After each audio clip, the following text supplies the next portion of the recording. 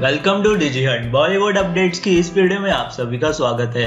सलमान खान की अगली film race three है, जो इस साल जून में यानी ईद के मौके पर रिलीज़ होगी।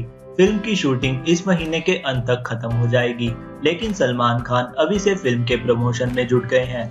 सलमान ने सोशल मीडिया पर हाल ही में कुछ सेकंड की एक क्लिप डाली है।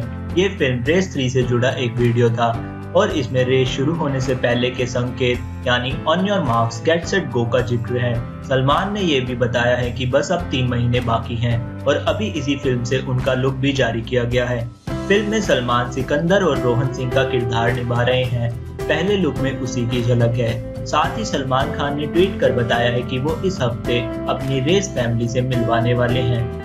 खुद को सिकंदर बताते हुए सलमान ने अपने किरदार के बारे में लिखा है selfless over selfish Race three को कोरियोग्राफर से निर्देशक बने रेमो डिसूजा बना रहे हैं। फ़िल्म में सलमान की हीरोइन जैकलिन है। साथ में बॉबी देओल को एक अच्छा रोल मिला है।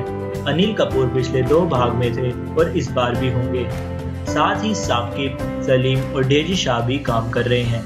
बॉलीवुड अपडेट से जुड़े रहने के लिए सब्सक्राइब करें हमारे यूट्यूब चैनल को।